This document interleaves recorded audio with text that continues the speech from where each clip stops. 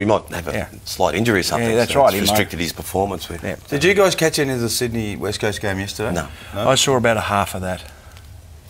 What are we going to do when you come? I know we say this every third week. What are you going to do about the Swans midfield because They are unbelievable. they are just What a about that one that phenomenal. Henry, Henry got in the back pocket, then he got marked it in the forward Yeah. 50 on such a long ground. Look at That's that. unbelievable. Kieren, I, run. I argue today that Kieren Jack, and you guys might not take much notice of this, but I argue today that Kieren Jack and Dan Hannebery should both be in the All Australian Yeah. midfield, Yep. starting midfield.